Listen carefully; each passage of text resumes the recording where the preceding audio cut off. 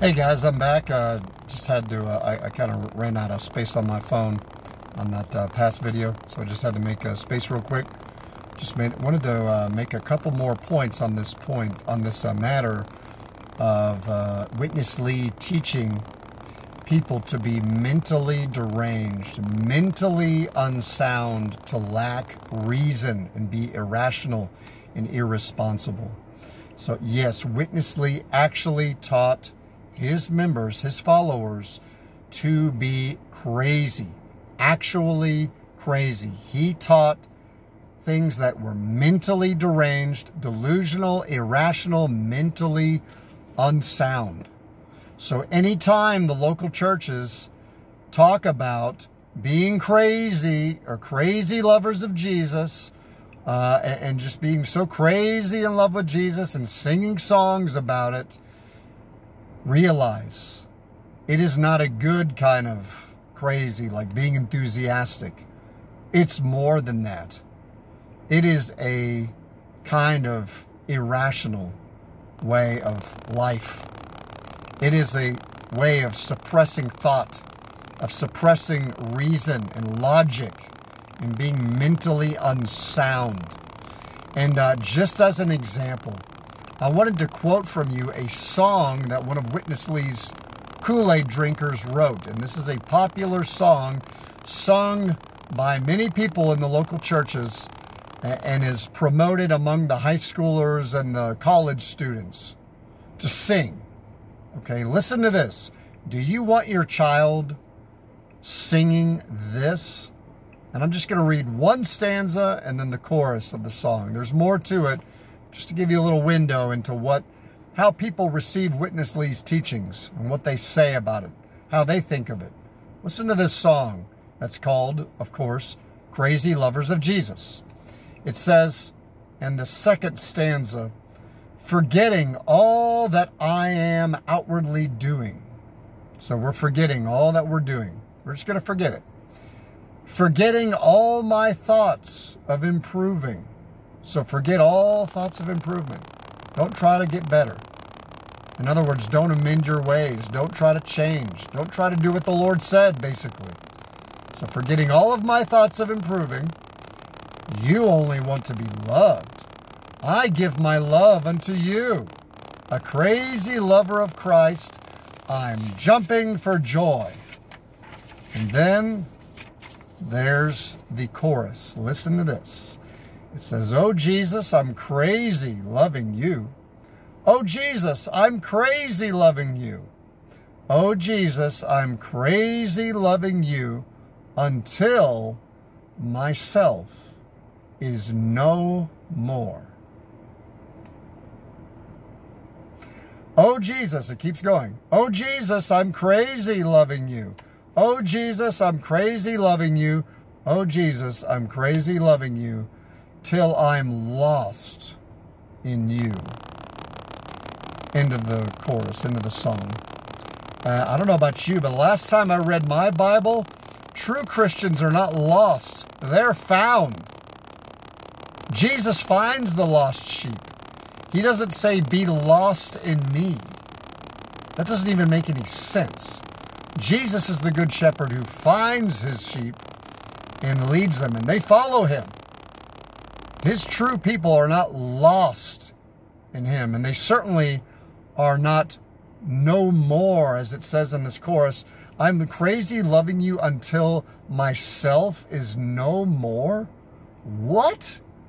I mean, that is weird evil stuff there. Talking about becoming no more. And I'm just lost in Christ. No.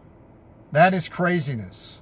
That is delusional. That is weird, irrational, unusual uh, language and behavior. So this is just an example of uh, the fruit of Witness Lee's teachings. You know, I just wanted to bring that out. And uh, if you saw the embarrassing fruit of the local church members a family and personal life, uh, it would all make sense when you put it into perspective of what Witness Lee taught them.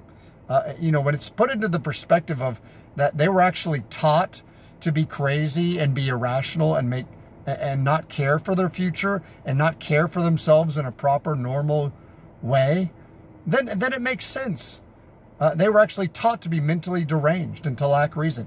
It's no wonder that so many people from this cult uh, are suffering from, you know, all kinds of mental illnesses.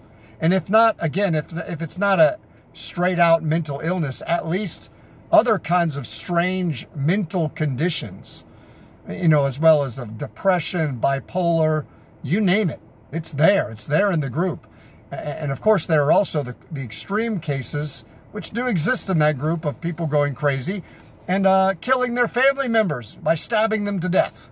Yes, a sister in New Zealand stabbed her own father to death. Yeah, glorious church life. Glorious church life right there in New Zealand. Yeah. So, you know, another way of saying, this is the last point I want to make here. Another way of saying that someone is crazy is to say that they lost their mind. You know, that's kind of, it's synonymous. Being crazy, you lost your mind. And again, Lee literally taught people to close their minds and to get out of their minds. In other words, he taught them to lose their minds. And I'm going to give you another song, except this one's not from the local church's cult. I'm going to give you another song about losing your mind. Um, you know who else taught you to lose your mind? Who else taught that? You know that uh, devilish rock band named Kiss, K I S S? Uh, even when I was an unbeliever, I wasn't even interested in them. Uh, but, you know, Kiss is a, a weird rock band that would put on a bunch of weird makeup and dress up as I don't know what they were, aliens or something like that. And they sang about all kinds of, of all kinds of weird stuff, of course. Uh, but uh, I don't know. I, I, again, I never even liked them as an unbeliever, but I do remember one of their most famous songs, which is called Detroit Rock City. And the last part of the chorus of that song you know what it says? The last part of the chorus of a Kiss song is this. This is probably their most famous song, too Detroit Rock City. The last part of the chorus says, You gotta lose your mind in Detroit Rock City. So, Kiss actually taught their fans to lose their minds.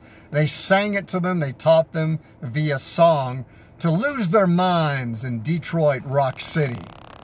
And uh, guess who? Guess who else did that? Witness Lee. Witness Lee and Kiss taught the same kind of thing. Why is that?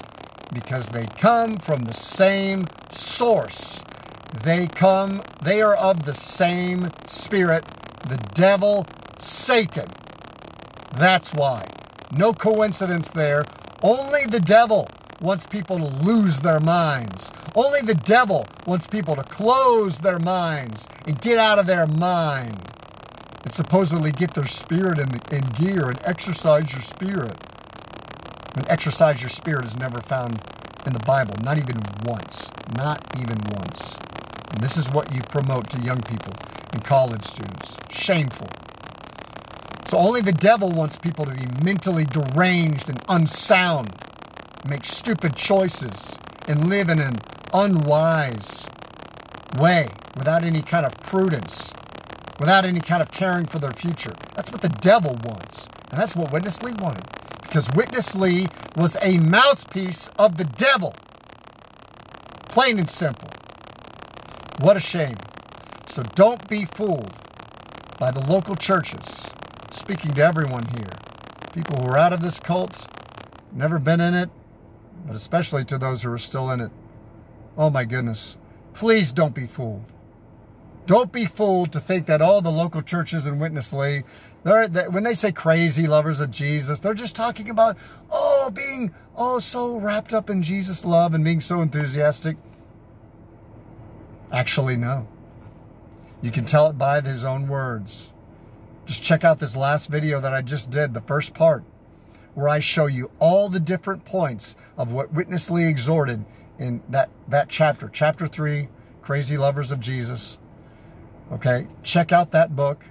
if you need to. If you don't believe me, I'm quoting straight from the book where Witness Lee is giving all kinds of insane, mentally deranged, delusional, mentally unsound advice that just lacks reason, that is void of understanding.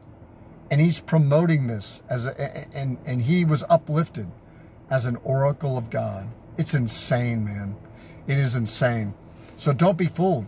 The kind of crazy that Witness Lee promoted was an actual being crazy, actually being mentally deranged, mentally unsound, to lack reason. So, what else would you expect? What else would you expect from a cult leader and his cult?